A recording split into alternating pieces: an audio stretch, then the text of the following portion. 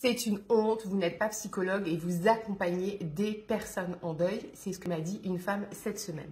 Ce à quoi je lui ai répondu, j'ai un diplôme d'état d'éducatrice spécialisée, j'ai un diplôme supérieur en travail social, j'ai un master en ingénierie des politiques publiques et sociales, je suis certifiée sophrologue spécialisée dans le deuil, je suis certifiée accompagnante du deuil par les associations Empreinte et Mieux Vivre son deuil. Je suis certifiée animatrice de carnet du deuil. Je suis en train de terminer ma certification pour animer des ateliers journal créatif. Je suis certifiée animatrice de yoga du rire.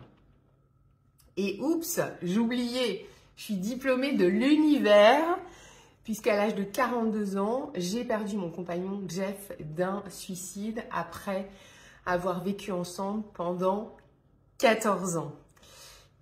Au niveau professionnel, j'ai travaillé 20 ans dans le travail social. Pendant 10 ans, j'ai accompagné des femmes victimes de violences conjugales.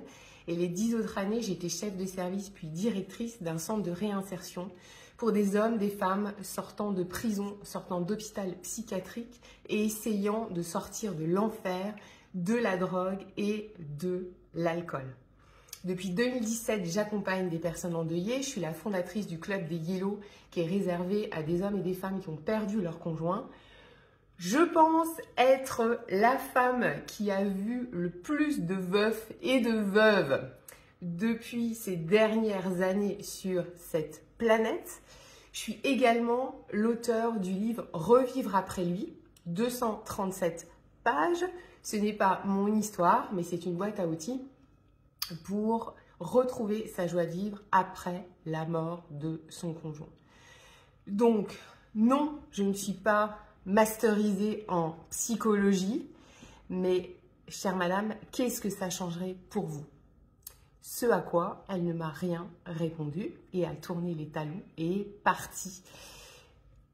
Je voudrais savoir si vous, vous faites partie de la team des diplômes, de la team des diplômés de l'univers ou et de la team de l'expérience.